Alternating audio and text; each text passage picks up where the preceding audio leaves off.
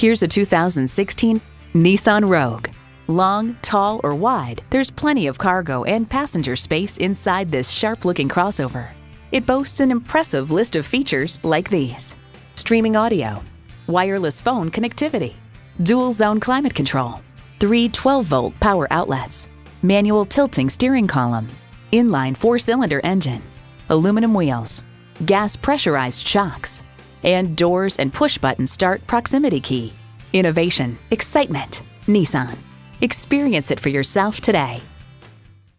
Suburban Ford of Sterling Heights is Michigan's largest dealer with over 4,000 new and used vehicles to choose from. Visit us today.